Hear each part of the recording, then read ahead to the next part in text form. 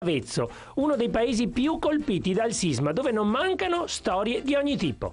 La nostra casa è stata battuta dalle ruspe dopo il sisma del 29 senza avvertirci e l'abbiamo scoperto dalle immagini della televisione. Ma soprattutto voi ritenevate che non dovesse essere abbattuta perché avevate incaricato un vostro tecnico per verificare la staticità dell'edificio.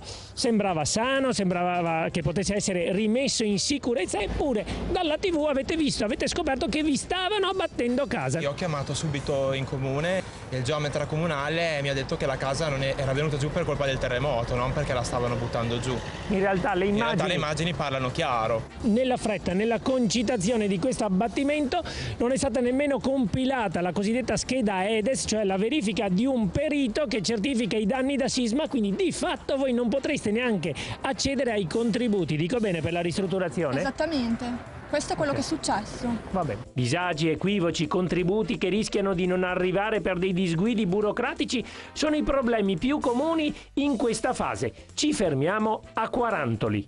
Salve, siete una